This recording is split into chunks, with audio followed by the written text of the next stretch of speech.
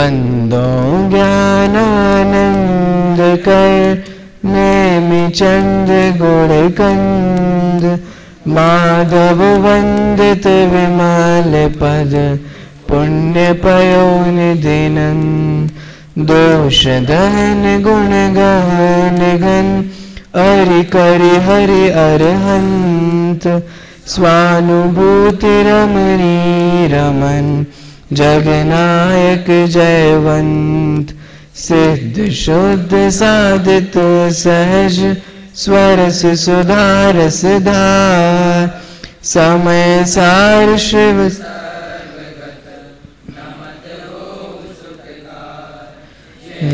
वाणी विविध विधि, वर्णत विश्व प्रमा।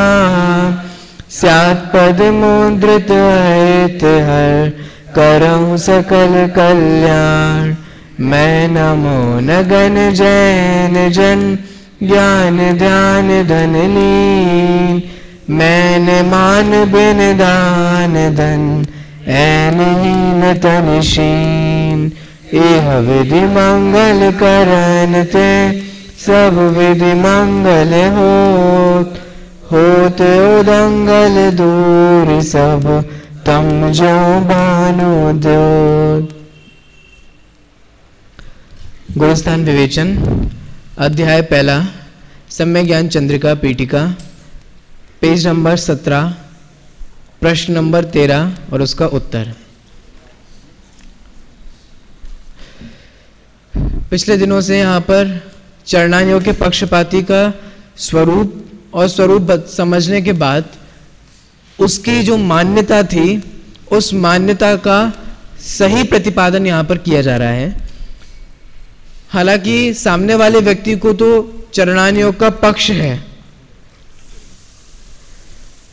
लेकिन वही चरणानियोग यथार्थ कैसे होता है, ये टोडोमल जी इन उत्तरों में बता रहे हैं। टोडोमल जी चरणानियोग को सही रीति से पालन करने का उपाय बता रहे हैं। चाहे वो व्रतों के संदर्भ में उन्होंने कहा हो, और चाहे तपों के संदर्भ में उन्होंने कहा हो, कुल मिला के बात इतनी सी है, जिनवाणी में ही कहा गया है कि उपवास कीजिए, हिंसा, दिक्कत, त्याग कीजिए, और जिनवाणी में ही ये लिखा है कि ज्ञान अभ्यास कीजिए। ठीक है? दोनों ही बातें जिनवाणी में लिखी है। लेकिन चरणानियों के पक्षपाती जो है, वो एक बात को तो मना कर रहा है। और दूसरी बात को करने के लिए कह रहा है। कुछ समझ पा रहे हो? मैं प्रारंभ क्या कहाँ से कर रहा हूँ? क्या बोल रहा हूँ? जिनवाणी में उपवास मतलब उपवास करने की भी प्रेरणा की है तब करने की भी प्रेरणा दी है, क्योंकि ये सब करो, ये कहाँ लिखा है? जिनवाणी में ही तो लिखा है। अहिंसा अधिक व्रतों का पालन करो, ये किसमें लिखा है? ये भी जिनवाणी में लिखा है। और ज्ञान अभ्यास करो, स्वाध्याय करो, ये भी जिनवाणी में लिखा है। अब जब दोनों बातें एक ही जिनवाणी में लिखी हैं लेकिन पक्षपाती वाले जो व्यक्ति हैं, चाहे वे किसी के भी पक्षपाती क्यों ना हो, वे दूसरी बात को नेग्लेक्ट करके अपनी बात को प्रमुख रखना चाह रहे हैं। जबकि दोनों ही बातें जिनवाणी में लिखी हैं। इसलिए टोडोमल जी, यहाँ, देखो, सामने वाला तो क्या कर रहा है? ये गलत, ये सही। लेकिन टोडोमल जी कह रहे हैं, ये तो सही है जो तुम सही कह रहे हो, और जिसे तुम गलत कह रहे हो, वो भी सही है। समझ पा रहे हो? मतलब ये है सही तरीके से प्रतिपादन करने की शैली। ये नहीं कि सामने वाले ने कहा, ये करो और ये गलत। तो टोडामल जी ने कहा, नहीं, तुम गलत और ये सही। अपने साथ ऐसा होता है। लेकिन टोडामल जी ने कहा, तुम जिसे सही बोल रहे हो, वो तो सही है। उपवास करना चाहिए, जो तुम कह रहे हो, वो तो करो।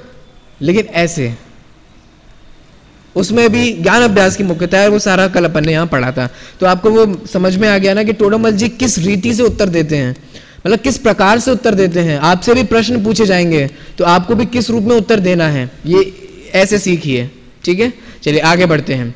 तो टोडामल जी ने टोडामल जी के सामने जो पाँच पाँच बिंदु उपस्थित किए थे कि आप ऐसा कर लो। वे कौन कौन से हैं? एक बार सब लोग मिलके बोलोगे। पहला बिंदु क्या था? दूसरा बिंदु क्या था? तीसरा? ठीक है। चौथा? बिल्कुल। पाँच? अभी तक हम कितने के बारे में समझ चुके हैं? दो बिंदुओं के बारे में हम अच्छी तरीके से समझ चुके हैं। अब आइए चलिए तीसरे की बात करते हैं। तीसरा बिंदु क्या था? अरहंत आदि की भक्ति की जाए नाम स्मरण किया जाए, ये सब करो। मतलब इस क्लास को छोड़ के भक्ति में बैठ जाओ, ऐसा ऐसा ये कह रहा है। कि शास्त्र अभ्यास के लिए तो वो मना कर रहा है कि शास्त्र अभ्यास मत करो। शास्त्र अभ्यास को छोड़कर अगर भगवान की भक्ति करें, देखो टोडामल जी कह रहे हैं, भगवान की तो भक्ति करो ही। सबसे पहले तो सुबह सुबह वही करते हैं देव दर्शन भगवान की भक्ति ही तो है, और शाम को भी भक्ति। तो वो तो करो ही, लेकिन भक्ति ही करते रहोगे क्या? कर सकते हो क्या? चलो ठीक है, करो। ऐसे परमिशन भी दे दें। लेकिन कोई भी व्यक्ति 24 घंटे उसी में भक्ति भक्ति करता रह सकता है क्या? ढूंढना सर्च करना, मिले तो। हालाँकि एक दो सरफिरे मिल भी सकते हैं। सरफिरे मतलब जो थोड़े से, जिन्हें सही स्वरूप नहीं पता होगा, कदाचित जैसे मिल भी सकते हैं। लेकिन सचमुच आप अपने ऊपर देखो, हम तो अपनी बात करते हैं। आपको रोज सुबह से शाम तक सोचो जब कंटिन्यू विधान होता है तो उसमें कदाचित कैसी फीलिंग होने लग जाती है। अब सोचो वही कंटिन्यू आपको सुबह से शाम तक और रोज कराया जाए। इसका मतलब भक्ति करो, ठीक है। करना चाहिए, करते भी है, लेकिन क्या सिर्फ़ भक्ति मात्र ही चलती रहेगी? देखो, आप लोगों ने ध्यान से पढ़ा हो तो वितरा विज्ञान पाठमाला में जो शट आवश्यक का पाठ है, उसमें देव पूजा है। ठीक है? तो सिर्फ़ मात्र देव पूजा है। भक्ति देव पूजा के अंतर्गत आ गई। ठीक है? भक्ति कहे, अरहंत आदि का नाम स्मरण कहे, यही तो पूजा होती है और क्या होता है? वो स्वाहा स्वाहा तो मैंने कल आपको बता दिया कि क्रिया का नाम नहीं है। अरहंत की भक्ति करना, उनका गुणानुवाद करना, है ना, गुणों से प्रीति होना, यही पूजा, यही भक्ति, अब कुछ भी नाम दो आप इसको। तो मात्र आपने ध्यान दिया हो तो श्रावक को शट आवश्यक पालन करने के लिए कहा। और वो श्रावक कहीं विधेय क्षेत्र का नहीं है, वो अपन ही है। कुछ समझ में आ रहा है? जैसे टोडामल जी ने लिखा ना, औरों की ही बातें करता है, आत्मा की बात जब करता है। ऐसे ही अपन भी जब शट आवश्यक की बात करते हैं तो ऐसा लगता है किसी औरों को पालन करने के लिए बोल रहे हो। लेकिन वो शटाव देखो, शट आवश्यक तो श्रावक को पालन करने चाहिए। क्यों तुम तुम क्या हो? तुम मुनिराज हो? मुनिराज भी आवश्यक करते हैं। नहीं नहीं श्रावक को करना चाहिए। तो तुम क्या हो भाई? ये तो बताओ। तुम श्रावक नहीं हो? आप लोग श्रावक नहीं हो? अपन श्रावक नहीं है। तो वो शटावश्यक किसे पालन करना चाहिए? श्रावक को करना चाहिए। हमें लगता है कि जैन लोग करें। तो इसका मतलब क्या आप श्रावक नहीं हो? क्या आप जैन नहीं हो? नहीं नहीं, हम तो विद्वान हैं। देखो तो तो जैनी विद्वान हो ना? कि अजैनी विद्वान हो? कुछ समझ रहे हो क्या कह रहे हो? मतलब जैन धर्म के ही तो विद्वान हो। तो जैन तो बनो पहले। फिर जैनी विद्वान बनना। वो शट आवश्यक का पालन, मैं तो क्या कह रहा था? वापस आ मैं तो ये कह रहा था कि वो शट आवश्यक का पालन और छह छह आवश्यकों का पालन एक गृहस्थ करता है, एक श्रावक करता है। और उसमें मात्र देव पूजा ही नहीं है, गुरु उपासना भी है। स्वाध्याय भी है, संयम भी है, तप भी है और दान भी है। दान की चर्चा आगे आने वाली है। अब यहाँ पर जो उसने कहा कि अरहंत आदि की भक्ति की जाए। अब टोडामल जी, देखो, टोडामल जी ये नहीं कहेंगे कि नहीं की जाए। टोडामल जी पता क्या कह रहे हैं? टोडामल जी ये कह रहे हैं कि हाँ की जाए। लेकिन तुम्हें पता है कि सच्ची भक्ति कैसे होती है? हाँ कैसे? अरे कैसी बातें करो, कैसे? हम तो स्टार्टिंग से मंदिर आ रहे हैं, और तुम हमें बता रहे हो कि सच्ची भक्ति कैसी होती है। हम तो स्टार्टिंग से पूजा कर रहे हैं स्टार्टिंग से ही दर्शन कर रहे हैं, छोटे से ही आप लोगों को भी ले जाया गया होगा। ना, जब छोटे से अपन होते हैं तो फैमिली में ले जाना चालू कर देते हैं, जैसे संस्कार पड़े हमारे अंदर। तो हम तो स्टार्टिंग से जब पूजन कर रहे हैं, मंदिर जा रहे हैं, भक्ति कर रहे हैं, और आप हमें बता रहे हो कि सच्चा कैसे करें तो हम क्या झूठा कर रहे हैं? टोडामल जी यहाँ कह रहे हैं, कुल क्रम आदि से जो भक्ति की जाती है, क्यों साहब, आप मंदिर क्यों जाते हो? कि सब सवाल करते हो, क्यों जाते हैं? हम जैन हैं, वो जैनों के भगवान हैं, इसलिए जा रहे हैं। कुछ इसमें अंतर समझ रहे हो?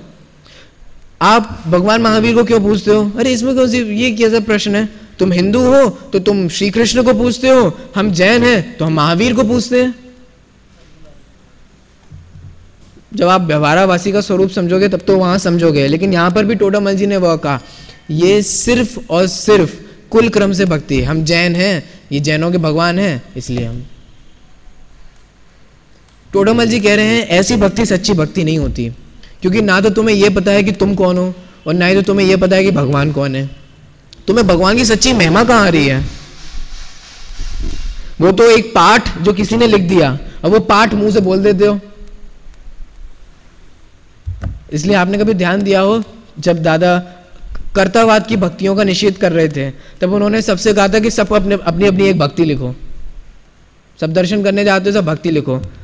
हम अभी क्या करते हैं, आप में से कई लिखने वाले भी है ना, लिखो। अपनी भक्ति लिखो, हम भगवान की कैसी भक्ति कर रहे हैं। अभी तो जो लिखी हुई है, आई हुई है, उसमें कोई गलत नहीं है। लेकिन होता क्या है, पढ़ते पढ़ते पढ़ते पढ़ते वो हमें याद हो जाती है टोटमल जी ने लिखा, मुख से उच्चारण आदि होता रहता है, वो डम डमाडम ढम होता रहता है, माइक वाले माइक में बोलते रहते हैं, वो स्वाहा वाले स्वाहा करते रहते हैं और सब हो जाता है, और कुछ पता ही नहीं चलता। इसीलिए ऐसी जो भक्ति होती, ये पता क्यों होता है? क्योंकि ये कुल क्रम से हो रही है। ये सच्ची भक्ति नहीं है कि आपको बोला, आज पूजा हो गई और आप पूजा कर रहे हो। ये तो पराधीन होकर पूजा हो गई। नहीं नहीं, साहब, पूजन में सबको जाना है। ठीक है, चले जा रहे हैं। जो दे दी, अब फिर खड़े हो गए, ऐसे कई होते ना, उदासीन से खड़े हो गए, बैठ गए सामने वाले ने पुस्तक दी, भैया, पढ़ लो। बैठे हो तो। हाँ नहीं नहीं, ठीक है, तुम ले लो। क्योंकि पकड़ेंगे तो वो भजन हो जाएगा ना, फिर देखना पड़ेगा ना। नहीं नहीं, तुम पकड़े रहो, हम थोड़ा झांकेंगे भी, इधर भी देखेंगे, उधर भी देखेंगे, भोजनालय में कितनी देर है, ये भी देखेंगे। हमें वो बहुत सारे काम करने हैं। और कदाचित हम मुख से उच्चारण आदि भी करते रहेंगे। और हमें पता ही नहीं हम कहाँ बोल रहे हैं, क्या बोल रहे हैं, कि उसका क्या मतलब है। तो ऐसी जो भक्ति होती है, कल आपको मेरा एक उदाहरण याद है? फल देगी कि नहीं देगी? फल देगी कि नहीं देगी? देखो, गलत है। आप, अगर आप कह दोगे नहीं, फल नहीं देगी तो आपका उत्तर गलत है। फल देगी। एक उदाहरण दिया था, याद है? कितना? करोड़ की जगह। इतना समझ लो। लोगों अच्छा तो हमें फल नहीं लगेगा? लगेगा ना? मिलेगा? किसने कहा नहीं मिलेगा? पूरा मिलेगा आज। जो तुमने जो तुमने किया है, वो पूरा फल लगेगा। तुम उधर झांके थे ना, उसका भी फल लगेगा। दिक्कत पता क्या होती है? अरे, हम तो इतनी पूजा कर रहे हैं, हम तो इतना स्वाध्याय कर रहे हैं, फिर हमारे पाप का उदय क्यों आ रहा है? उसका फल क्यों नहीं मिल रहा? मिल तो रहा है भाई, सभी का फल मिल रहा है। पूजन के जितने तुम्हारे मंद कषाय हुई थी, उसका भी फल मिलेगा। और पूजन के वक्त तुमने यहाँ वहाँ जो झांका था उसका भी फल मिलेगा। हिसाब तो यही है ना। स्वाध्याय करते वक्त आप जो यहाँ ध्यान से एकाग्र चित्त होकर जनवाणी को जो सुन रहे हो उसका निश्चित रूप से फल मिलेगा। और कब खत्म हो ऐसा विकल्प है उसका भी निश्चित रूप से फल मिलेगा। है, है रोज रोज लग रही है उसका भी निश्चित रूप से फल मिलेगा। सभी का फल मिलेगा चिंता क्यों करते हो? जो जैसा जितना जिस माध्यम से और जैसा किया जाता है उसका फल मिलता है। तो इसलिए टोडामल जी ने कहा कि भक्ति तुम इस रूप से कर रहे हो, जबकि तो सच्ची भक्ति कैसे होगी हमें यह बता दो। बहुत अच्छा सीधा सच्चा उपाय है शास्त्र अभ्यास करो, क्यों साहब उससे क्या हो जाएगा? शास्त्र अभ्यास मतलब अभी किस शास्त्र अभ्यास की बात कर रहे हैं? कर्णान योग के। ये मैं आपको पहले भी क्लियर कर चुका हूँ। कर्णान योग का शास्त्र अभ्यास करो। क्यों मयंक? कर्णान योग पढ़ के क्या हो जाएगा? अभी गुड़स्तान पढ़ के क्या हो जाएगा? सुनो, जब तुम गुड़स्तान पढ़ोगे तब तुम्हें समझ में आएगा कि तुम कितने पानी में हो। और भगवान कहाँ है? जब तुम्हें गुणस्थान का स्वरूप समझोगे, तब तुम्हें समझ में आएगा कि तुम कहाँ और भगवान कहाँ। तुम्हारी कषाय कितनी है और वो कैसे हैं? तुम्हारे दर्शन ज्ञान चारित्र की क्या तारतम्यता? मैंने गुणस्थान का अर्थ किया था ना, गुण और स्थान। तुम्हारे श्रद्धा और चारित्र गुण का क्या स्थान है? और उनका क्या है? कंपैरिजन जब तुम देखोगे ना कि तुम्हारे श्रद्धा और चारित्र कैसा हो रहा है, और भगवान का श्रद्धा और चारित्र। जब तुम गुणस्थान से इसका स्वरूप समझोगे, तब तुम्हें भगवान की सच्ची भक्ति आएगी। जब तुम्हें यह पता चलेगा कि द्रव्य अपेक्षा से तो आत्मा सिद्ध समान है, लेकिन ना माने तो पहले ही गुणस्थान है। वो पहले मिथ्यात्व गुणस्थान ही है। सिद्ध समान होते हुए भी। और उन्होंने सिद्ध अवस्था की प्राप्ति पर्याय में भी की। वो गुणस्थानातीत हो गया। अरंत की बात करें तो वो तेरहवें गुणस्थान में है। जब तुम्हें एक्चुअल पता चलेगा कि कौन कितने पानी में है, हम कहा और भगवान कहा, है ना, कहा राजा भोस, जब तुम्हें ऐसा बराबर वेद विज्ञान हो जाएगा, यथार्थ ज्ञान हो जाएगा, तब तुम्हें समझ में आएगा कि हम क्यों उनकी भक्ति करें। मेरा पॉइंट समझ में आएगा क्लियर हो गया? देखो, अब इसको पढ़ लेते हैं। और जो लगेगा मुझे वो आपको मैं समझा भी दूँगा। पेज नंबर है सत्रह सेकेंड पैराग्राफ कौन सा पॉइंट चल रहा है? थर्ड पॉइंट ध्यान रखना दीपम। तीसरा बिंदु चल रहा है अपना। जीवादिक के विशेष रूप, गुणस्थान आदि का स्वरूप जानने से ही अरहंत आदि का स्वरूप भले प्रकार पहचाना जाता है। तुमने कहा ना कि अरहंत का नाम स्मरण किया जाए, भक्ति की जाए तो अरहंत का स्वरूप पता है तुम्हें? किसी भक्ति करनी है? नहीं नहीं साहब, हमें तो भक्ति करनी है। चाहे सामने अरंत हो, चाहे देव हो, चाहे कुदेव हो, चाहे रागी हो, चाहे द्वेषी हो तो तुम्हें अरहंत का स्वरूप पता है? नहीं साहब, कैसे पता चलेगा? गुणस्थान को पढ़ो। क्यों? गुणस्थान को पढ़ने से क्या होगा? अरहंत परमेष्टि तेरहवें गुणस्थान वर्ती होते हैं। उस तेरहवें गुणस्थान का क्या स्वरूप है? ये पढ़ो। तभी तो तुम्हें समझ में आएगा ना कि उस गुणस्थान वर्ती जो जीव है, उनका क्या स्वरूप है? मेरी बात समझ में आ रही है ना? गुणस्थान को पढ़ने से क्या होगा? गुणस्थान को पढ़ने से ये होगा ये होगा कि तुम्हें ये भी पता चलेगा कि तुम्हारा, तुम कहाँ हो। और तुम्हें यह भी पता चलेगा कि जो अरहंत होते हैं, वे कैसे होते हैं। उस गुणस्थान में उनका क्या स्वरूप होता है? कदाचित कोई व्यक्ति अरहंत को वस्त्र पहना दे और कहे कि नहीं नहीं, चलता है। तो आप कहोगे, नहीं, तेरहवें गुणस्थान में ऐसा होता ही नहीं है। क्योंकि वस्त्रों का अभाव तो सातवें, छठवें गुणस्थान से ही प्रारंभ हो जाता है। वस्त्रों का त्याग कहें, नग्न दिगंबर दशा कहें। कुछ समझ पा रहे हो? तो इसका मतलब ये कैसे होगा? जब गुणस्थान हो? नहीं नहीं, उस गुणस्थान में हो ही नहीं सकता। अभी आपको ये लगता होगा, मुनिराज ये कर सकते हैं कि नहीं कर सकते हैं? उन्हें मंदिर बनवाना चाहिए कि नहीं बनवाना चाहिए? ये ऐसा करना चाहिए कि नहीं करना चाहिए? इसमें मत उलझो। तुम ये देखो कि छठवें, सातवें गुणस्थान में ऐसे विकल्प आते हैं कि नहीं आते हैं? क्लियर अगर उस गुणस्थान, अब जैसे आप पढ़ोगे तब अपन समझेंगे इस चीज़ को। अगर उस गुणस्थान में वो विकल्प नहीं आते और किसी को अगर आ रहे हैं तो समझ लो वो गुणस्थान नहीं है। जो जिस गुणस्थान में होता है, उसको उस गुणस्थान के भाव आते हैं। ये समझ लेना हमेशा। ठीक है? तो समझ में तो गुणस्थान की कितनी उपयोगिता है? क्यों? क्योंकि गुणस्थान हमें बताता है कि एक्चुअल तराजू पे तोल कर कि इस गुणस्थान में ये दशा होती है, इस दशा होने पर ये भाव होते हैं, ये भाव होने पर ये ये क्रिया होती है, बस। तो इसका मतलब कोई कहे कि नहीं, अब देखो, कोई कहे, मैं तो नग्न दिगंबर, मैं तो छठवें, सातवें गुणस्थान में झूलता हूँ। मैं अभी जैसे बोलूँ सपोज़ मैं आप लोगों से बोलूँ, मैं तो हर अंतर मुहूर्त में आत्मा का अनुभव करता हूँ और छठवें, सातवें गुणस्थान में झूलता हूँ। सही बात है कि गलत बात है? क्यों? क्यों भाई साहब, ये आपके, ये जो है ना, ये ये चीख चीख चीख चिल्ला रहे हैं कि आपको छठवा, सातवा गुड़स्तान नहीं है। कुछ समझ लो क्या कह रहा हूँ? ये चिल्ला ये बता रहा है कि नहीं बता रहा है? ये बता रहा है कि आपको वो गुड़स्तान नहीं है। इसका मतलब ये हुआ कि ये, इसको समझने से इतना अच्छा काम ये होता है कि हमें ये पता चल जाता है कि किस गुड़स्तान में कैसा भाव होता है। उसकी, और उस भाव होने पर कैसी क्रिया होती है। कुछ समझ में आ रहा है? अरहंत है। तो अरहंत के स्वरूप, तेरहवें गुणस्थान में क्या होता है? अभी तो पता है, लोगों को अरहंत का स्वरूप पता नहीं तो उनको लगता है हमारा भला कर देंगे। लेकिन भाई, जब आप गुणस्थान पढ़ लोगे, तब आपको समझ में आएगा कि भला करने का जो भाव है, वो तो राग के कारण होता है, और राग का भाव पहले ही कर दिया बारहवें गुणस्थान में तो उनको ये भाव कैसे हो सकता है? कुछ समझ पा रहे हो? इसीलिए करणान योग से ऐसा ज्ञान होता है। बोला एकदम सटीक स्पष्ट। इसीलिए यहाँ कहा जा रहा है, अगर आप गुणस्थान आदि का स्वरूप समझ लोगे तो अरहंत का स्वरूप आपको विशेष ख्याल में आएगा। साहब, अभी भी तो हम जानते, अभी जो तुम जानते हो ना, वो तुम कुल क्रम से जानते हो। देखो, फिर से कहते हैं जीवादिक के विशेष रूप गुणस्थान आदि का स्वरूप जानने से ही अरहंत आदि का स्वरूप भले प्रकार पहचाना जाता है गुणस्थान के माध्यम से, तथा अपनी अवस्था पहचानी जाती है। मैंने भी आपको थोड़ी देर पहले कहा था ना, कौन कितने पानी में है? हम कितने पानी में हैं? भगवान कहाँ है? मोक्ष मार्ग में क्या स्थान है? ये समझ में आ जाता है। ऐसी पहचान होने पर जो अंतरंग में तीव्र भक्ति प्रकट होती है कि अरे रे, मैं सिद्ध समान होने पर भी गुणस्थान पहला। सिद्ध समान होने पर भी गुणस्थान तो पहले ही है भाई साहब। समझ रहे हो? या सिद्ध समान होने पर भी गुणस्थान तो अभी चौथे ही है। सम्यक दो है। और भगवान ने उस उस स्टेज को पार किया। मतलब उन उन कषायों का अभाव करते चले गए। तो देखो कितना पुरुषार्थ का काम है। ऐसी तीव्र भक्ति आए बिना नहीं रहती। कुल मिला के बात ये कहना चाह रहे हैं, भक्ति अपने आप आती है।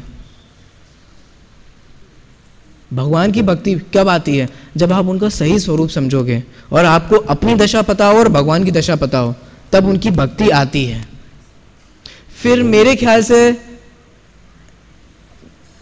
बोलने की ज़रूरत नहीं होती कि आप ये करो। जिसको भगवान देखो एग्ज़ाम्पल देता हूँ। जिसको किसी के प्रति भी तीव्र भक्ति होती है, वो देखे बिना उसके नहीं रहता। ठीक है? सीधी सी बात है। जैसे ये जो बॉडी बिल्डर्स होते हैं, जिन्हें बॉडी बनाना होती है, उनके जिम में किसकी फ़ोटो लगी रहती है? ये सीना, जॉन सीना, कौन से सीना, कौन सी छाती, इन सब की मतलब इन सब लोगों की फ़ोटो लगी होगी कि नहीं लगी होगी? उसको बार बार बार बार वो जब मेहनत करेगा तो अपने सामने क्या लक्ष्य रखेगा? मुझे ऐसी, ऐसा फिगर चाहिए। ये जो मैं तो एग्ज़ाम्पल बता रहा हूँ। क्रिकेट की रुचि वाले के सब समझते हैं? ठीक है, उनके, उसको बार बार ऐसा विकल्प आएगा देखने का। अपने आप आता है। ये पता है सहज होता है। आप प्रैक्टिकल करके देखो, मैं क्या कहूँ? बार बार विकल्प आएगा। उसकी चर्चा सुनने का विकल्प आएगा। मतलब प्रतिमान योग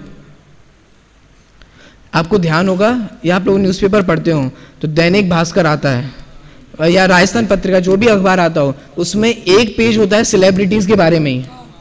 क्यों? ऐसा क्यों करते हैं? क्योंकि जिनको, जिन लोगों ने उनको अपना आदर्श मान रखा है, वे चाहते हैं कि उनकी एक एक बात उन्हें पता चले, कि अब वो कहाँ जा रहे हैं, कौन से अवार्ड फ़ंक्शन में जा रहे हैं, कौन सा उनको प्राइज़ मिला, क्या मिला, क्या हुआ, कौन सी मूवी हिट गई उनकी, कौन सी फ्लॉप गई, उसको अपने आप आती है भक्ति। हालाँकि वो कभी उससे मिला भी नहीं हो तो भी। आती है कि नहीं आती है? ठीक है? ऐसे ही जब गुणस्थान का स्वरूप समझकर, जिसे मोक्ष मार्ग प्राप्त करना हो, वो। उसको अपने आप ऐसी भक्ति आती है कि कहाँ हम हैं, कहाँ भगवान है, ऐसी तीव्र भक्ति उसको अपने आप आती है। ऐसी पहचान होने पर जो अंतरंग में तीव्र भक्ति प्रकट होती है, वही बहुत कार्यकारी है। बहुत कार्यकारी है मतलब वही सच्चा फल देती है। इसलिए भक्ति में भी ज्ञानाभ्यासी प्रधान है। समझ में आ गया? और जो बिना पढ़े लिखे लोग भक्ति करते हैं, आप देखो क्या करते हैं। कभी देखा आपने? कैसे भगवान के सामने दीनहीन, ये कर दो, वो कर दो, ऐसा कर दो। अगर उन्होंने ज्ञानाभ्यास किया होता, सत्य स्वरूप समझा होता तो ऐसा कैसे बोल पाते? कैसे कह पाते? क्लियर हो गया ना आपको समझ में? थर्ड पॉइंट क्लियर हुआ? अब मैं इसको कंक्लूजन करके इसको एंड कर देता हूँ। कुल मिला के यहाँ टोडामल जी ने ये कहा, सामने वाले ने तो ये प्रश्न कहा था कि शास्त्र अभ्यास छोड़कर तुम तो भक्ति करो।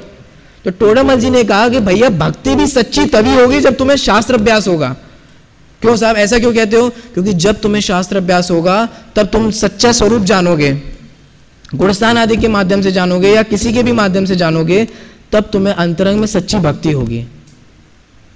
और अभी जो तुम भक्ति कर रहे हो, या तो तुम्हें कोई अभिलाषा होगी, लोभ कषाय होगी, या भय कषाय होगी, कि कहीं नरक में ना चले जाएँ, कहीं संसार में ना रुल जाएँ, या तो भय कषाय के वशीभूत होकर, या लोभ स्वर्ग में चले जाएँगे, या ये मिल जाएगा। तो या अभी तो तुम भक्ति जो कर रहे हो, वो कषायों के वशीभूत होकर कर रहे हो।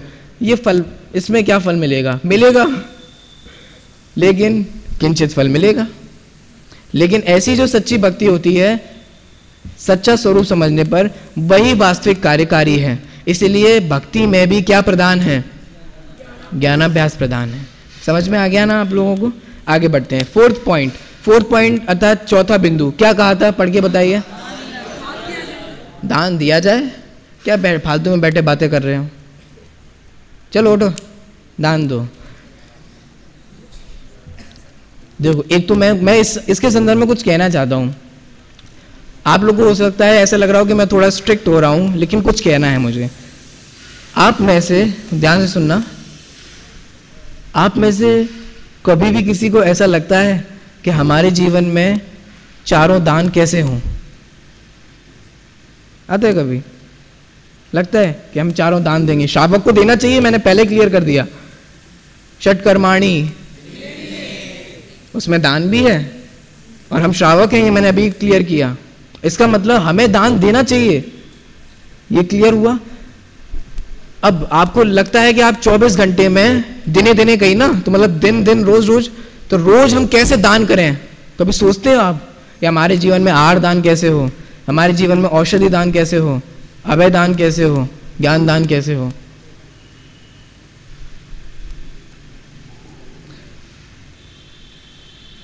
अब आप कह सकते साहब, हमें तो ये मुनिराज नहीं दिखते तो हम आहार दान कैसे करें?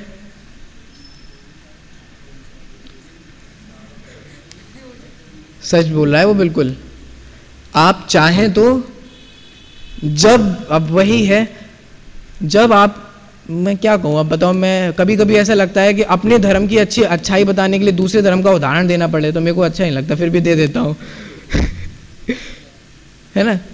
अब आपको मुझे ये कहना पड़ेगा कि पंजाबी लोगों से सीखो, कि लंगर कैसे लगाते हैं, अपने भाइयों को भोजन कैसे कराते हैं। अब अच्छा लगता है ये कहना। मुझे तो नहीं लगता कि किसी धर्म का उदाहरण दिया जाए। अब मैं आपसे ये बोलूँ कि चप्पल ऐसे रखो, ऐसा करो, सीखना है तो देखो, मेरे पास तो एक फ़ोटो आई थी जिसमें बुद्ध धर्म के थे, वो सब लाइन से चप्पल उतारे उतारे जा रहे थे। अब मैं आपसे ये कहूँ कि देखो, इनसे कुछ सीखो। अच्छा लगता है ऐसा। मैं आपसे ये कहूँ कि देखो, मुसलमान भी मंदिर जाता है तो टोपी लगा के जाता है। ओ, मस्जिद जाता है सॉरी मुसलमान भी मस्जिद जाता है तो टोपी लगा के जाता है, बिल्कुल कायदे से जाता है।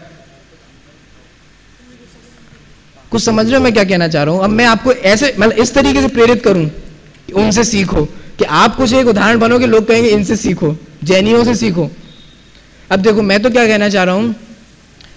आप भी आहार दान कर सकते हो, लेकिन वो आपको आहार दान लगे तब ना, आपको तो ड्यूटी लगती है। और कष्ट लगता है। सचमुच, मैं सचमुच कह रहा हूँ, अगर आप इस भावना से खिलाओ, ये भी साधर्मी है।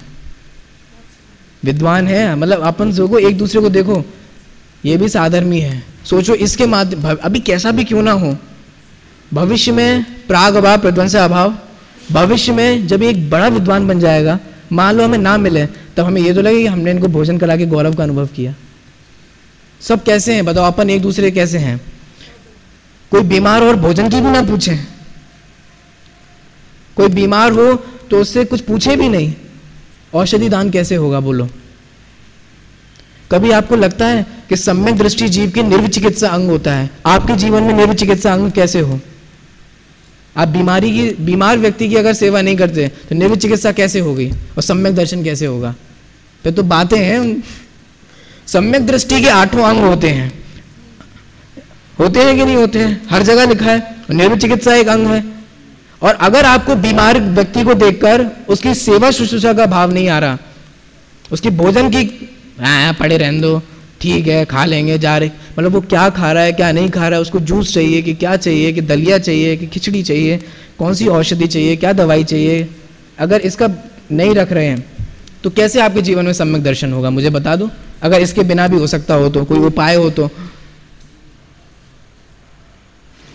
सोचो आहार दान और औषधि दान ऐसे हो सकता है। अगर करना हो तो। लेकिन होता क्या है ना, अभी वो जो हम कर रहे हैं, वो ड्यूटी लगती है, जबकि वो हमारा कर्तव्य है। कुछ समझ दो ड्यूटी और कर्तव्य में। अभी वो बोझ लगती है, क्योंकि हमसे बोला गया है एक से पंद्रह। और फिर एक से पंद्रह वालों को ऐसा लगता है कि हमें क्यों घसीटा जाता है? क्या इन्हें एक से पंद्रह की आगे गिनती नहीं आती? है ना, लगता है ना चैतन्य? तो सोचो जीवन में आहार दान और औषधि दान कैसे होगा? श्रावक बनना है? बोलो, कैसे हो पाएगा? इसलिए मैं, देखो, यहाँ तो क्या कहा गया है और मुझे मुझे तो आपको सिर्फ़ ये बोला था, कम से कम हमारे अंदर ऐसी भावना तो होनी चाहिए। आहार दान है, औषधि दान है, अभय दान है, ज्ञान दान है। ज्ञान दान तो चलो देते भी हैं, करते भी हैं। अब देखो, ये तो हो गई बात अलग, ठीक है? अब वापस आ जाइए यहाँ पर। यहाँ तो ये कहा कि दान दो। दान देना चाहिए। तो टोडामल जी कह रहे हैं कि तुम सही कह रहे हो कि दान देना चाहिए। लेकिन तुम्हें पता है कि दान कितने होते हैं? कितने होते हैं? चार होते हैं ना? उन चार दान में से ज्ञान दान भी तो एक दान है। है कि नहीं? ज्ञान दान भी एक दान है। ये ज्ञान दान ज़रूरी नहीं है कि शास्त्र सभा में बैठ के ही दिया जाता हो। जैसे अभी ये क्लास चल रही है ना चलते फिरते भी एक दूसरे को ज्ञान दान दिया जाता है। छोटे से बच्चा हो और उसको हम नमोकार मंत्र सिखाएँ, ये ज्ञान दान है। सोचो, हमें भी तो ऐसे किसी ने ज्ञान दान दिया था, तभी तो हमें नमोकार मंत्र याद है। ये ज्ञान दान की परंपरा है। और एक शास्त्र में लिखा है कि ज्ञान दान का फल केवल ज्ञान है। आप सोचो, आप क्या कर रहे हो? अभी जो हम ज्ञान दान देंगे इसका परंपरा से फल, तुरंत नहीं? मतलब परंपरा समझते हो ना? ये ज्ञान दान के जो संस्कार है हमारे अंदर, ऐसे जो पलेंगे, उसका परंपरा से फल तो केवल ज्ञान की प्राप्ति है। क्योंकि हम काम ही उन्हीं लोगों का कर रहे हैं करधर आचार्यों का, केवली की परंपरा को आगे बढ़ाने का। अब देखो, सामने वाला तो कह रहा है कि तुम दान दो, और टोडोमल जी कह रहे हैं, भैया, चार दान में से ज्ञान दान भी तो एक दान है। तो ज्ञान का अभ्यास किए बिना दान कैसे दे दोगे? कुछ आया समझ में? तो ज्ञान दान देने के लिए तुम्हें कुछ तो पता होना चाहिए ना। जिनवाणी का ज्ञान देना है, ठीक है। तो जिनवाणी का ज्ञान दान देने से पहले तुम्हें जिनवाणी के बारे में तो पता होना चाहिए। इसलिए ज्ञान दान से पहले ज्ञान अभ्यास ज़रूरी है प्रूव्ड समझ में आ रहा है? हर चीज़ से क्या कंक्लूजन निकाला जा रहा है? और आहार दान, औषधि दान, अभय दान, बिना ज्ञान अभ्यास के हो सकते हैं? आप जिनवाणी में नहीं पढ़ो कि आहार दान किसे देना चाहिए? किस विधि से देना चाहिए? किस क्या पात्र होते हैं? है ना, पात्र नवधा भक्ति, ये सब कुछ ना पढ़ो। और किसी भी भिखारी को पाँच रुपए का समोसा खरीद के खिला दो और सोचो कि आहार दान दे दिया। मूरख। अकल तो लगाओ, क्या खिला रहे हो? किसे खिला रहे हो? और कह रहे हो साहब, हम आहार दान करके आ गए। कुछ समझ रहे हो मैं क्या कह रहा हूँ? अब ऐसी गलतियाँ क्यों होती हैं? सामने से ये वो कुगुरु आए? बाबा हमारे यहाँ से आते हैं आपके यहाँ भी आते होंगे। उनको आटा दे दिया, लो आहार दान हो गया। ये आहार दान होता है। आहार दान करने से पहले भी ज्ञान अभ्यास ज़रूरी है, क्योंकि ज्ञान अभ्यास से ही आपको पता चलेगा कि किसको आहार देना चाहिए, कैसे आहार देना चाहिए, क्या आहार देना चाहिए। ये नहीं कि मलाई पूरी चल रही है आहार में। पता ही नहीं कि मुनिराज जो भोजन करते हैं, वो संयम की रक्षा के लिए करते हैं और आप उनको कलिष्ठ भोजन करा के, पकौड़े चकौड़े खिला के, है ना? ये सब खिला के उनके रसन इंद्रिय का पोषण कर रहे हो। कुछ समझ में आ रहा है ना? तो ये गलतियाँ क्यों होती हैं? क्योंकि लोगों को समझ ही नहीं है। उनने पढ़ा ही नहीं है, अभ्यास ही नहीं है। इसलिए आहार दान में भी क्या प्रमुख हुआ? ज्ञानाभ्यास। बोलो, औषधि दान में लगा सकते हो? कोई बीमार है और आपने मछली के तेल से फ़िश ऑयल से बनी कोई चीज़। लो, ये टैबलेट खा लो, सही हो जाओगे। हमने औषधि दान दे दिया, मूर्ख। ये औषधि दान है कि तुमने अभक्ष दान दिया। समझ में आ पा रहा है ना? तो ऐसी गलती क्यों होती है? क्योंकि आपको पता ही नहीं है कि भैया औषधि का मतलब क्या होता है, और क्या देना चाहिए, और किसको देना चाहिए, कैसे देनी चाहिए। क्लियर हो गया? समझ पा रहे हो ना क्या कह रहा हूँ? इसका मतलब चारों ही दानों में क्या प्रमुख है?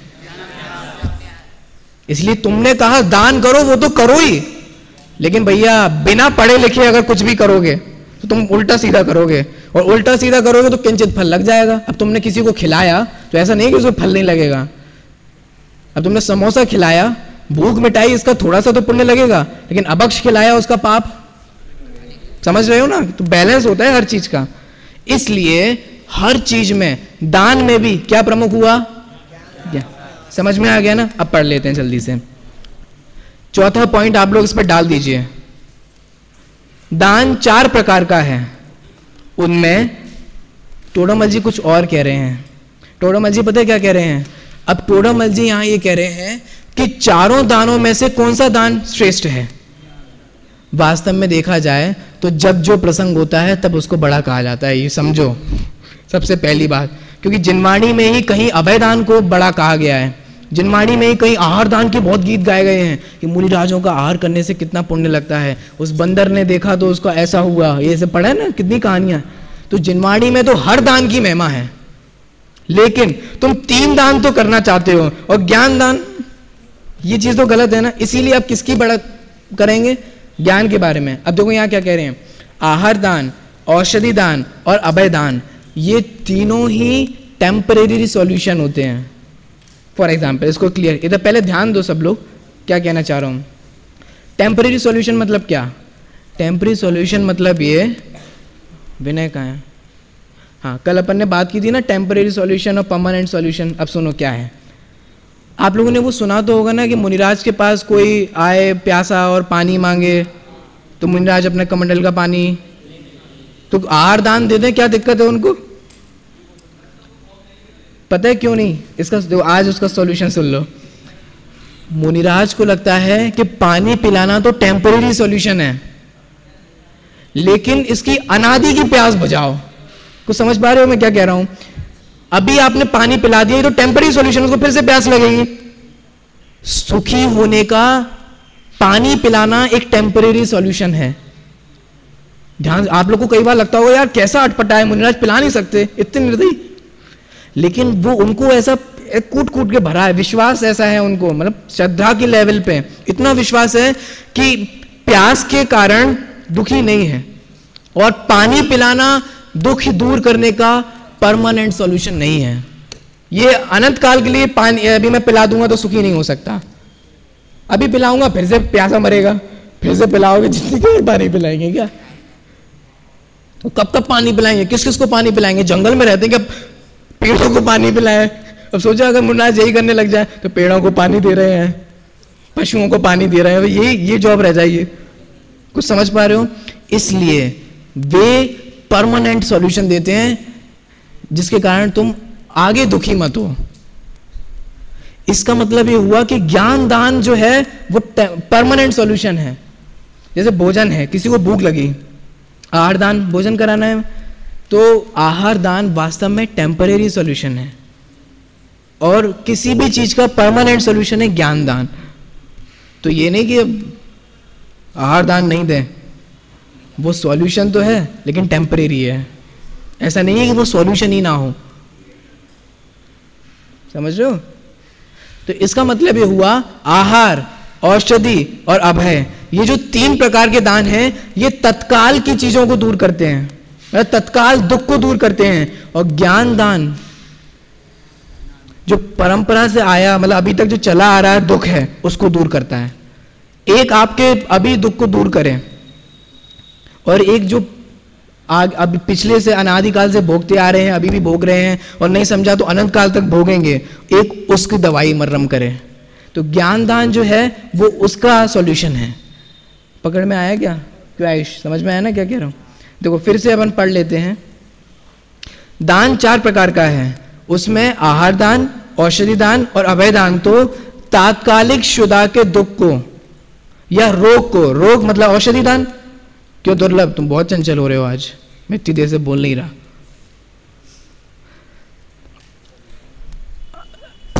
आहार दान, औषधि दान और अभय दान। तो तात्कालिक शुदा के दुख को या रोग के दुख को या मरण आदि के भय को, ये कुछ समझ में आया आपको? शुदा के दुख को आहार दान, रोग के दुख को औषधि दान, और मरण आदि के भय को अभय दान। क्लियर हो गया ये? मरण आदि भय के दुख को ही दूर करता है, किंतु जो ज्ञान दान है, वह अनंत भव से चले आ रहे दुख को दूर करने में कारण है। अगर सच्चा सॉल्यूशन है जीव का सुखी होने का तो वास्तव में तो वो ज्ञान दान है। मुनिराज भी वही करते हैं। और भाग्य, धन्य भाग्य हमारा है कि हमारा मिशन भी वही है। मतलब हमारा मिशन से मतलब हमारा, अगर आप सच्ची जिनवाणी को पढ़ रहे हैं तो आपका भी एम यही होगा कि यही बात जन जन तक पहुँचे। सोचो, जो काम केवली करते हैं, वो काम है ये ज्ञानदान। जो काम मुनिराज करते हैं, गढ़धर करते हैं, प्रतिगढ़धर करते हैं, आचार्य करते हैं, वो काम है ज्ञानदान। मुनिराज को आहार दान और औषधि दान नहीं होता। कि वो किसी को आहार दान करा रहे हो, औषधि दान करा रहे हो, ऐसा नहीं होता। उनको अभय दान और ज्ञान दान होता है। देखो तो समझ में आ गया ना इसका मतलब? ज्ञान दान जो है, वो परमानेंट सोल्यूशन है। मतलब जो अनादिकाल से दुख है, उसको दूर करता है। और ये बाकी के जो दान है, वो अभी के दुख को दूर करते हैं। भूख लगी, अभी दुख हुआ और तुरंत दूर हुआ, फिर से लग गई। आप हो तो आपको शाम को लग जाएगी। कदाचित मुनिराज हैं तो उनको फिर से अगले दिन। या एक एक दो दिन बाद। ये तो तुरंत हो गया ना। इसीलिए यहाँ कहा जा रहा है कि चारों दान में भी भैया ज्ञान भी अपना ज्ञान दान का भी एक इंपॉर्टेंट रोल है। समझ में आ गया ना आपको? अब ज्ञान दान तो देना चाहो, लेकिन तुम्हें अभ्यास ही ना हो तो उल्टा सीधा बोलोगे। खिंचाई होगी। फिर श्रोता लोग बोलेंगे, नहीं नहीं नहीं, पंडित जी, आप गलत बोल रहे हो। क्योंकि श्रोता भी कई तरीके के होते हैं। एक सामान्य श्रोता होते हैं विशेष श्रोता होते हैं, पढ़े लिखे भी श्रोता होते हैं। तो आप प्रवचन में जाओगे, फिर आपको लगेगा कि हमारे बीच प्रवचन में ऐसे बोल दिया, ऐसा कर दिया। तो ज्ञान अभ्यास तो करो पहले, तब ज्ञान दान देना। आप लोगों के लिए बोल रहा हूँ मैं। अभी आप यहाँ नहीं अभ्यास करना चाहते, गुणस्थान पढ़ना नहीं चाहते, लेकिन गुणस्थान पढ़ाना चाहते हो। How it can be possible पहले अभ्यास तो करो, पहले पढ़ो तो तब पढ़ाना। अभी जिनवाणी का पहले अभ्यास करो और अच्छे से करो, बिल्कुल भी मत चूको। फिर इससे क्या होगा? आप जो ज्ञान दान दे पाओगे, वो और नहीं दे पाएँगे। समझ में आ गया ना? इसलिए आपको, मुझे पता है कि आप में से भी बहुत सारे लोगों को भावना होती है कि हम भी ऐसे इस तत्व को और आगे बढ़ाएँगे। लेकिन उसका उपाय क्या है? उसका उपाय, अगर मैं आचार्य अमृतचंद देव की भाषा में बोलूँ तो सबसे पहले विज्ञान घन बनो। ऐसे घन बनो कि कोई प्रहार नहीं कर पाए आपके ऊपर। जैसे पहले विज्ञान घन तो बनो पहले ज्ञान अभ्यास तो करो तो ज्ञान अभ्यास करो, तभी ज्ञान दान संभव है। इसलिए चुपचाप आ जाओ पढ़ने। ये टोडमल जी कह रहे हैं। चुपचाप करणानियों के शास्त्र का अभ्यास करो, क्योंकि वो शास्त्र अभ्यास है। अब बिना अभ्यास के तुम दान नहीं दे पाओगे। समझ में आ गया ना आप लोगों को? देखो, किंतु जो ज्ञान दान है, वह अनंत भव से चले आ रहे दुख को दूर करने में कारण है। तीर्थंकर केवली देखो, केवली परमात्मा अनंत देव, जिनका तुमने कहा ना कि स्मरण करो, बेबी ये काम करते हैं ज्ञान दान का। करते हैं कि नहीं करते हैं? दिव्य ध्वनि के माध्यम से होता है कि नहीं होता है? उनके माध्यम से जो होता है, वो बाद में किसी और के माध्यम से नहीं हो पाता। जल्दी बोल दिया, लेकिन आप समझ गए होंगे। जो धर्म की प्रभावना कहें ज्ञान दान दें धर्म का उपदेश कहें, जो तीर्थंकर के माध्यम से अपने समय में होता है वो गजब होता है, अपने में ही होता है। आपने पढ़ा होगा कितने ही जीवों को मुराज कितने जीव मुनराज बन जाते हैं, कितने जीवों को निर्माण हो जाता है, कितने जीवों को अड़ुव्रत धारण होता है, कितने चौथे गुणस्थान हो जाता है, और कोई ऐसे भी होते हैं जो पहले में ही रहते हैं। ठीक है? तो देखो, तीर्थंकर केवली, अब इसने पूछा, साहब, आपने कहा कि ज्ञान दान करो कौन कौन करता है? तो गिना दिया, तीर्थंकर केवली, वे भी ज्ञान दान देते हैं, और आचार्य आदि के भी ज्ञान दान की प्रवृत्ति मुख्य है। शास्त्र अभ्यास, अतः शास्त्र का लिखना, क्या हो गया ये? ज्ञान दान हो गया कि नहीं हो गया? शास्त्र की टीका लिखना, क्या है ये? मतलब पढ़ाना, उपदेश देना ज्ञान दान है। समझ में? लिखना, पढ़ना, पढ़ाना, समझना, समझाना, ये सब ज्ञान दान के अंतर्गत है। अब आप, आपकी परिप्रेक्ष्य में अगर बात कहूँ तो नई टेक्नोलॉजी से सहारा लेते हुए कैसे नए तरीके से हम इसको और बता सकते हैं, ये और उसमें ऐड होता चला जाता है।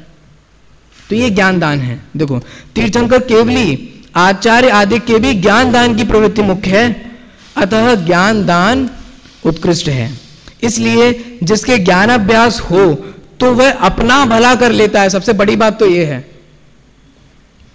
आप लोग अभी पढ़ रहे हो तो आपको जो ट्रू हैप्पीनेस मिलती है तत्व ज्ञान को समझने पर, वो सामने ये दुनिया वालों को नहीं मिलती। है ये दुनिया वाले तो छोटा सा कोई कुछ कह दे तो आकुलित व्याकुलित हो जाते हैं। इसने क्या कैसे दिया? मैं तो उसकी पूरी खानदान को नष्ट कर दूँगा, कि पीढ़ी की पीढ़ी जला दूँगा, और ऐसे ऐसे भाव आते हैं। न्यूज़पेपर उठा के देखो तो देख लो कैसे कैसे भाव आते हैं लोगों को। एक पति को, अपनी पत्नी को मारने का, मार दी, उसने गोली मार दी और सैनिक था वो। क्यों मार दी? क्योंकि वो पढ़ाने चली गई बस। उसने मेरी बात नहीं मानी। वो पति कह रहा था कि तुम पढ़ाने नहीं जाओगे स्कूल में। अब वो पढ़ाने चली गई, उसने गोली मार दी। और अंत में फिर बाद में उसने अपने आप को भी गोली मार दी। अब बोलो, कितने दुखी हैं ये जगत के लोग। सोच, छोटा सा अपना कर्तृत्व अब जैन धर्म की भाषा में कहूँ ना, अपना सिर्फ़ कर्तृत्व पोषण करने के लिए, तुम मैं करता हूँ, तुम मेरे अनुसार चलना। तुम मेरे विपरीत गई कैसे? जब मैंने मना किया तो चली कैसे गई? अभी बताता हूँ मैं, मेरी ताकत कितनी है। अब देख लो क्या ताकत है, अंत का इंतज़ाम क्या हुआ? पाप का फल यही होता है। हिंसा पाप है ना? अंत में पश्चाताप और दुख, ये समझ लो पाप और कषाय का फल है। ऐसे ही होता है। तो इसका मतलब हुआ कि अभी जो आप तत्व ज्ञान ले रहे हो, इससे आपका जीवन निखर रहा है। हम बहुत अनोखी चीज़ ले रही है जो बहुत सारे लोगों के पास नहीं है। तो तत्व ज्ञान लेने से अपना भला भी होता है और जब आपको लगेगा कि मेरा भला हो रहा है, तब आपको ऐसा स्ट्रॉन्ग फीलिंग आएगी कि लोगों का भी भला हो जाए। अपने आप है, जो चीज़ आपको अच्छी लगती है ना, वो आप दूसरों को बताते हो। हे तूने वो मूवी देखी? नया गाना, नया वाला गाना देखा? आजकल ट्रेंड में है। अरे वो नई तरीके की वो फ़ोटो एडिटर आ गए हैं, पता है तुम्हें? उसमें आप काले हो तो गोरे आ जाओगे। ऐसे एडिट कर दो, वैसे एडिट कर दो। नया एडिटर आया है, वो बहुत अच्छा है। तो जिसको जो अच्छा लगता है वो बताए बिना रहता नहीं है। अगर आप तत्व ज्ञान से अपने आप को सुखी कर पाओगे ना तो आप दूसरों को भी बताओगे। बताए बिना रहोगे नहीं। उसके लिए सबसे पहले आपको खुद समझना पड़ेगा, ये पहली गारंटी है। तो अभी आप पहले खुद समझो। जब आप खुद समझोगे, देखो अभी होता क्या है? आप खुद अपनी प्रॉब्लम का सॉल्यूशन नहीं निकाल पाते। दूसरों की प्रॉब्लम का सॉल्यूशन कैसे निकालोगे? जो खुद अपनी प्रॉब्लम सॉल्व करता है ना, वो दूसरों की प्रॉब्लम सॉल्व कर पाता है। जो खुद ही प्रॉब्लम में अटका हो, वो क्या दूसरों के समझ पा रहे हो ना? इशारों में बात कर रहा हूँ मैं बहुत बहुत सारी चीज़ें। इसका मतलब डोडोमल जी ने हमसे ये कहा कि अगर तुम्हें सच्चा ज्ञान दान देना है और सच्चा विद्वान बनना है, शास्त्री बनना है विज्ञान गण बनो, पहले शास्त्र अभ्यास करो लिचर लिपर चुपर से कुछ नहीं होगा। नंबरों से। समझ में आ गया? इसलिए सबसे पहले ज्ञान अभ्यास करो और दान में वही मुख्य है। अब अंतिम बात रह गई है, उसके बारे में अपन यहाँ कल देख लेंगे। अंतिम बात क्या है? विषय कषायों से उदासीन बनो। तो कैसे उदासीन बनते हैं? क्या उदासीनता का सच्चा स्वरूप है? वो कल टूटमल जी यहाँ बताने वाले हैं। ठीक है? तो इस प्रकार से अपने चार बिंदु हो गए। कुछ समझ में आया आप लोगों को इन चार बिंदुओं से?